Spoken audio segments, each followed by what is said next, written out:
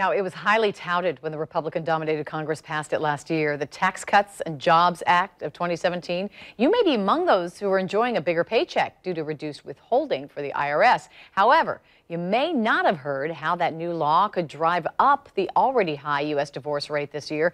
Channel 4's Nikki Kimbleton checked with some experts and shows us why that could happen. Uh, well, Mary, you know, let's get real for a minute. So, how many of you watching right now know that your marriage is not going to make it? I mean, it's a sad situation, of course but you want the breakup to be as easy as possible. A new tax law going into effect at the beginning of next year could make it anything but.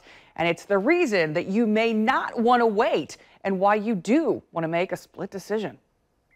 Sadly, the statistics we've all heard before haven't changed. Around 50% of couples are still splitting up, and we could see a record number of divorces this year. Do you anticipate doing a higher number of divorces this year because of this? I anticipate there's going to be races to the courthouse. Matt Hunt is a divorce lawyer who says that if you're on the fence about your marriage, now is the time to make a choice. If alimony is a consideration in your case, I would say yes. It's because starting in 2019, you can't write off alimony payments on your taxes any longer. And if you receive alimony, you won't have to report it as income. Right now, it's just the opposite. While at first glance, this looks great for the payee, the person getting alimony, when you take a deeper look, now that tax burden has shifted to the payor, they no longer get a break. So for them to be able to afford alimony, it's going to be a lower amount, which means the recipient is going to get less. Michelle Barron is a certified financial planner who has a lot of clients that pay alimony. I'm going to go to a quote from Ronald Reagan. He had once said that if you have a larger pie, you're going to get a lar uh, larger slice. If you have a smaller pie, then we're going to get a smaller slice. So once that deduction is gone, there's going to be less money to go around.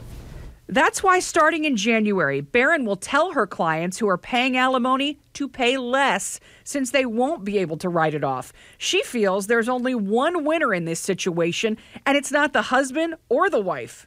We had the government who was trying to come up with ways to reduce taxes for people.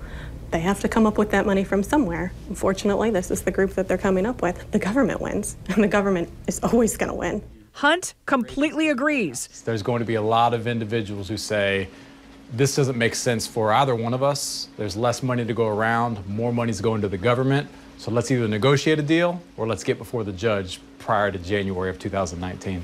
And for those that wait and fall under that new tax law, you think it's going to get ugly?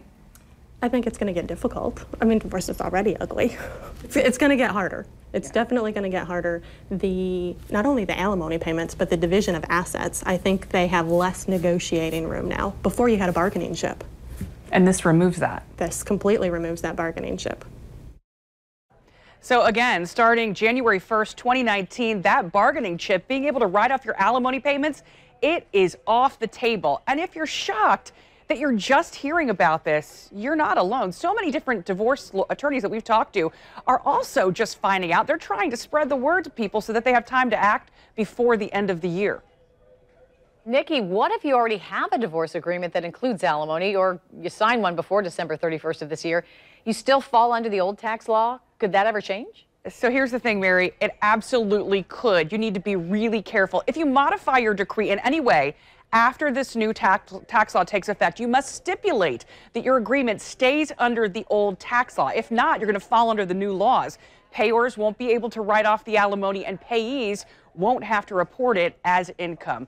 So on news4jax.com, we've posted my uncut interviews with financial planner Michelle Barron and also attorney Matt Hunt. You're going to find them inside the story on the homepage of news4jax.com. And we are continuing our conversation right now on Facebook. In fact, Matt Hunt is here with me live, and he's going to be answering your questions, anything that you may have about the tax changes that are being made when it comes to alimony in just a second, we're going to be live on Facebook to answer those questions. So please join us there. You can find it by searching WJXT4, the local station. Tommy Mary.